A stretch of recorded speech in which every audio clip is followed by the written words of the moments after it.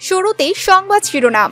চীনের কাছে সামরিক ও অর্থনৈতিক সহায়তা চাইছে রাশিয়া। সহায়তা করবে চীন। যুদ্ধ থামাতে এবার পুতিনের সঙ্গে বৈঠক করবে জেলেন্সকি। ইউক্রেন ইস্যুতে বাইডেনের অযোগ্যতার ফলে তৃতীয় বিশ্বযুদ্ধ শুরু হতে পারে বললেন ট্রাম্প। অস্ত্রের বদলা, ইউক্রেনকে পাঁচশো জেনারেটর দেবে যুক্তরাজ্য। ইউক্রেনকে বাঁচাতে হলে ছয় দফা প্রস্তাব মানতে হবে, বললেন রাশিয়ার স্পিকার। রিজার্ভের তিনশো বিলিয়ন ডলার ব্যবহার করতে পারছে না রাশিয়া। বিশ্বের ভয়ঙ্কর স্নাইপার ওয়ালি এখন ইউক্রেনে, আতঙ্কে রাশিয়া। এবার বিস্তারিত। চীনের কাছে সামরিক ও অর্থনৈতিক উভয় ধরনের সহায়তা চাইছে রাশিয়া। ফিনান্সিয়াল টাইমস এবং নিউ ইয়র্ক টাইমস পত্রিকায় প্রকাশিত প্রতিবেদনে এ কথা বলা হয়েছে। প্রতিবেদনে বলা হয়েছে, মস্কো চাইছে বেইজিং ইউক্রেনে ব্যবহারের জন্য সামরিক উপকরণ সরবরাহ করুক। নাম প্রকাশে অনিচ্ছুক মার্কিন কর্মকর্তাদের বরাত দিয়ে এফটি জানিয়েছে। রাশিয়া আগ্রাসনের শুরু থেকেই চীনা সরঞ্জামের জন্য অনুরোধ করে আসছে। তবে ওই কর্মকর্তারা রাশিয়া কি ধরনের সরঞ্জাম চাইছে তা উল্লেখ করতে অস্বীকার করেন। প্রতিবেদনে আরও বলা হয়েছে, চীন সম্ভবত সাহায্য করার জন্য প্রস্তুত হচ্ছে। এমন ইঙ্গিত পাওয়া গেছে। নিউ ইয়র্ক টাইমসের এক প্রতিবেদনে মার্কিন কর্মকর্তাদের উদ্ধৃতি দিয়ে দাবি করা হয়েছে যে, রাশিয়া নিষেধাজ্ঞার প্রভাব প্রশমিত করতে চীনের কাছে অর্থনৈতিক সহায়তাও চাইছে। চীন এখন পর্যন্ত রাশিয়া ইউক্রেন সংঘাতে নিজেকে নিরপেক্ষ হিসাবে চিত্রিত করার চেষ্টা করেছে। দেশটি এখনও রুশ হামলার নিন্দা করেনি। সোমবার মার্কিন জাতীয় নিরাপত্তা উপদেষ্টা জেক সুলিভান রোমে চীনা পররাষ্ট্র দপ্তরের শীর্ষ কর্মকর্তা ইয়াং জি জির সঙ্গে আলোচনা করবেন বলে মনে করা হচ্ছে। রবিবার এনবিসির সঙ্গে কথা বলার সময় সুলিফান বলেন, যুক্তরাষ্ট্র এটা নিশ্চিত করবে যে চীন বা অন্য কেউ যেন রাশিয়ার অর্থনৈতিক ক্ষতি পুষিয়ে দিতে না পারে। সাবেক সোভিয়েত ইউনিয়নের দেশ ইউক্রেনে সামরিক অভিযান চালাচ্ছে বিশ্বের দ্বিতীয় বৃহত্তম পরাশক্তি রাশিয়া। গত চব্বিশ ফেব্রুয়ারি ভোর থেকে এই অভিযান শুরু হয়। এরই মধ্যে সোমবার উনিশতম দিনে গড়িয়েছে এই অভিযান। বিগত আঠারো দিনে ইউক্রেনের বেশ কয়েকটি নগরী দখলে নিয়েছে রুশ বাহিনী। এরই মধ্যে অস্ত্রবিরতি নিয়ে তিনবার বৈঠকে বসেছেন ইউক্রেন ও রাশিয়ার শীর্ষ কর্মকর্তারা। আজ সোমবার অনুষ্ঠিত হতে যাচ্ছে চতুর্থ বৈঠক। তবে এই পর্বের বৈঠক অনুষ্ঠিত হবে ভার্চুয়ালি। এই বৈঠকে রুশ প্রেসিডেন্ট পুতিনের সঙ্গে ইউক্রেন প্রেসিডেন্টের বৈঠকের বিষয়ে সিদ্ধান্ত আসতে পারে, এমন আশাবাদ ব্যক্ত করেছেন স্বয়ং ইউক্রেনের প্রেসিডেন্ট ভ্লাদিমির জেলেন্সকি। তিনি বলেছেন, প্রতিদিনই আমাদের প্রতিনিধিরা রুশ প্রতিনিধিদের সঙ্গে ভিডিও কনফারেন্সে কথা বলছেন। তাদের প্রধান কাজ হল রাশিয়ার প্রেসিডেন্ট ভ্লাদিমির পুতিনের সঙ্গে একটি বৈঠকের ব্যবস্থা করা। আমেরিকার সাবেক প্রেসিডেন্ট ডোনাল্ড ট্রাম্প বলেছেন, বর্তমান প্রেসিডেন্ট জো বাইডেনের অযোগ্যতার কারণে ইউক্রেনের ইস্যুতে শেষ পর্যন্ত তৃতীয় বিশ্বযুদ্ধ লেগে যেতে পারে। ইউক্রেন যুদ্ধ অবসানের ক্ষেত্রে তিনি প্রেসিডেন্ট বাইডেনকে দুর্বল, ভিরু এবং অযোগ্য বলে উল্লেখ করেন। ট্রাম্প বলেন, এই ভয়াবহ ও রক্তক্ষয়ী যুদ্ধে আমেরিকাকে না জড়িয়েও সংঘাত অবসানের জন্য তার কাছে একটি উপায় রয়েছে। সাউথ ক্যারোলাইনায় গতকাল এক সমাবেশে গতকাল এ কথা বলেন ডোনাল্ড ট্রাম্প। তিনি আশঙ্কা প্রকাশ করেন ইউক্রেন যদি অব্যাহত থাকে, তাহলে তা শেষ পর্যন্ত তৃতীয় বিশ্বযুদ্ধের রূপ নিতে পারে। ট্রাম্প বলেন, যা ঘটছে আমি তাই দেখি। কারণ আপনি যদি মনে করেন পুতিন এই যুদ্ধ থামাবেন, তাহলে তা ভুল হবে, বরং পরিস্থিতি আরও খারাপ হবে। তিনি যুদ্ধ থামানোর প্রস্তাব গ্রহণ করবেন না, তার সঙ্গে কথা বলার মতো কেউ আমাদের ভেতরে নেই। দনেস্কো এবং লোহানস্কো অঞ্চলের বেসামরিক লোকজনকে রক্ষার কথা বলে রাশিয়ার প্রেসিডেন্ট ভ্লাদিমির পুতিন গত চব্বিশ ফেব্রুয়ারি ইউক্রেনে সামরিক অভিযান শুরু করে। মার্কিন প্রেসিডেন্ট জো বাইডেন রাশিয়ার এই অভিযানকে অন্যায় ও একতরফা বলে মন্তব্য করেছেন।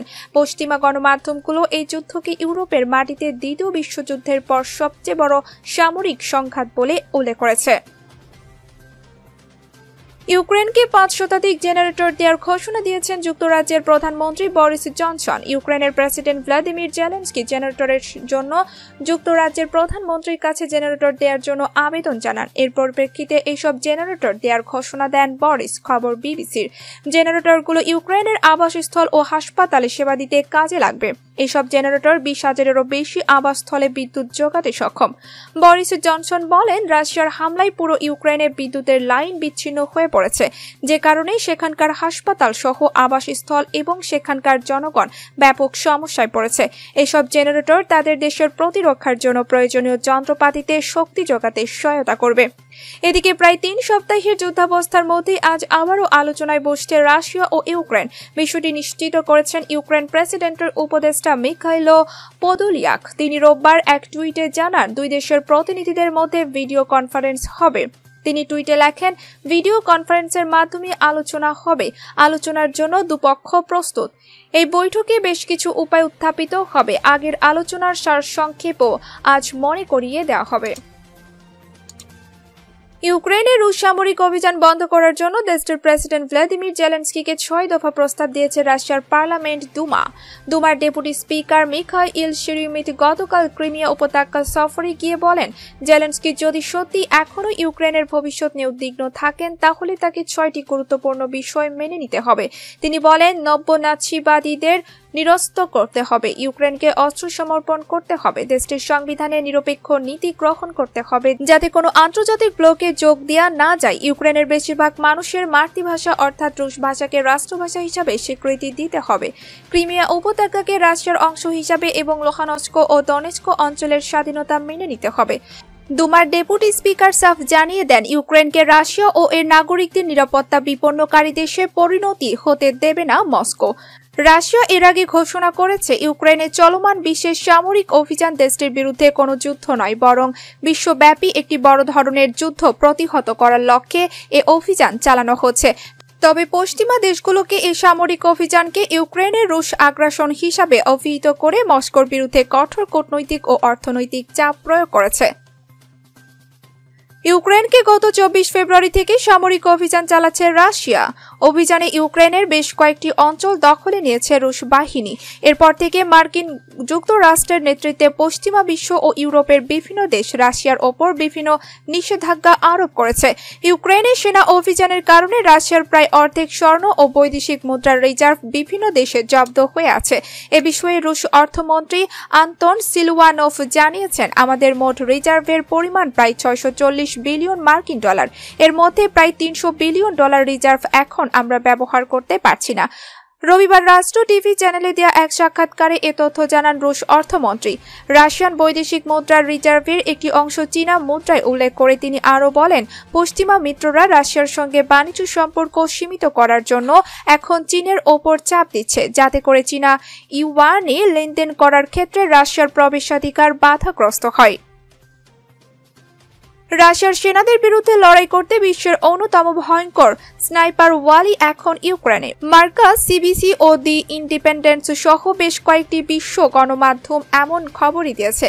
সত্যি, রাশিয়ার বিরুদ্ধে যুদ্ধ করতে স্নাইপার ওয়ালি ইউক্রেনে গেছেন কিনা সে নিয়েও প্রশ্ন তুলেছেন কেউ কেউ। গণমাধ্যমগুলো জানিয়েছে, পেশায় একজন কম্পিউটার বিজ্ঞানী হলেও ওয়ালি আফগান অভিযানে ন্যাটো সেনাদের সাথে স্নাইপার চালক হিসাবে কাজ করেছেন। মার্কার খবর বলছে, আফগানিস্তানে দুই বছরে বেশ কয়েকজন শত্রুকে দক্ষতার সাথে স্নাইপার ওয়ালি হত্যা করেছেন। দু হাজার নয় থেকে দুহাজার এগারো সাল পর্যন্ত স্বেচ্ছাসেবক হিসাবে আফগানিস্তানে ছিলেন ওয়ালি। আফগানিস্তানে এলিট জেটি, এল টু ইউনিটে কাজ করার অভিজ্ঞতা আছে ওয়ালির। এই দলের সাড়ে তিন হাজার মিটার দূর থেকে স্নাইপার দিয়ে গুলি করে মানুষকে হত্যা করার রেকর্ড আছে। ইউক্রেনের প্রেসিডেন্ট ভ্লাদিমির জেলেন্সকি রাশিয়াকে ঘায়েল করতে বিদেশি যোদ্ধাদের তার দেশে যাওয়ার আহ্বান জানিয়েছেন। সেই আহ্বানে সারা দিয়ে ইউক্রেনে গেছেন কানাডিয়ান নাগরিক ওয়ালি। বিশ্বের বিভিন্ন দেশের নামি দামি অনেক স্নাইপার চালক আছেন। তাদের অনেকেই অবশ্য নিজের পরিচয় গোপন রাখতে চান, তবে ওয়ালি এখানে ব্যতিক্রম। দিনে চার পাঁচ গুরুত্বপূর্ণ শত্রুকে খতম করতে পারলেই তাকে ভালো স্নাইপার চালক হিসাবে বিবেচনা করা হয়।